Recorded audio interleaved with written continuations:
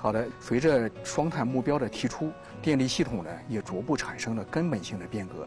从传统的火力发电机为主导，逐渐的转换为以新能源变流器为主导的这样一个新型的电力系统。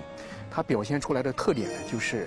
电源和负荷的分散性、波动性增大了，从而导致新能源。我们也经常听到一些这个并网难、送出难，还有消纳难。为此呢，我们提前布局了新型。构网型这个柔性直流输电技术，由我们供货的张北柔性直流输电工程，就是这一技术的一个应用的一个成功的典型案例，创造了十二项世界第一，也为我们的北京冬奥会提供了百分之百的绿色电力。不断完善壮大的就是我们的发储输用网这样一个产业集群，也是我们企业实现高质量发展的一个加速器。目前，我们博瑞核心产品供应链上有两百多家合格供方，是我们常州本土企业。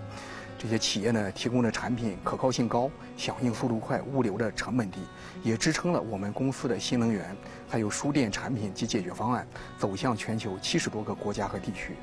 我们常州首屈一指的新能源的投资热度，也为我们与生态圈内的，呃更多的知名企业强强联手创造了平台。